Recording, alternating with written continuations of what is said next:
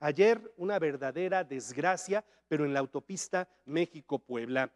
Tres personas fallecieron y 25 resultaron lesionadas cuando se volteó el autobús de turismo que transportaba a estas personas que eran peregrinos, iban a la Basílica de Guadalupe originarios de Ajalpan. El accidente ocurrió ya en una de las últimas rampas de bajada antes de la caseta de peaje de San Marcos. Era el kilómetro 39 y era la zona de Ixtapaluca en el Estado de México. El autobús había salido a la una de la mañana con 30 minutos de Ajalpan y llevaba como destino la Basílica de Guadalupe. Sin embargo, en la bajada de la pista se quedó sin frenos. El chofer trató de tomar una de las rampas de seguridad que protege justamente a aquellos automóviles que se quedan sin frenos, particularmente camiones, y logró acceder a una de ellas, pero no, no entró bien y quedó prácticamente en la guarnición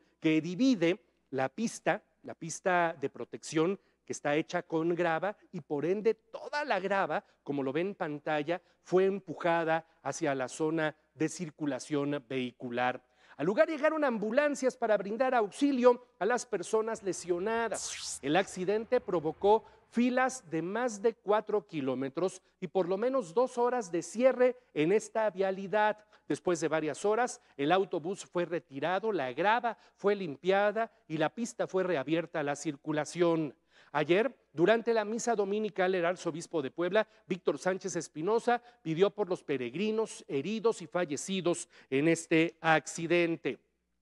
Por su parte, el gobernador del estado, Sergio Salomón Céspedes Peregrina, también lamentó el accidente ocurrido a los peregrinos poblanos que iban a la basílica. El mandatario estatal instruyó a los secretarios de Gobernación y Salud para que se les brindaran todas las facilidades médicas a las personas lesionadas. Asimismo, envió un abrazo solidario a los deudos de quienes lamentablemente perdieron la vida.